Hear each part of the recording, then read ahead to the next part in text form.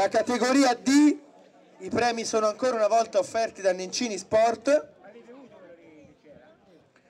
Alberto Antonelli, quinto classificato, Circolo Arci Travale. Quarto classificato, Michele Rossato, Trisport Costa d'Argento. Medaglia di bronzo, categoria D, Luca Pengo, Pieve a Ripoli. Terzo classificato, Luca Pengo, secondo Giovanni Infante, Grosseto, Team Marathon Bike.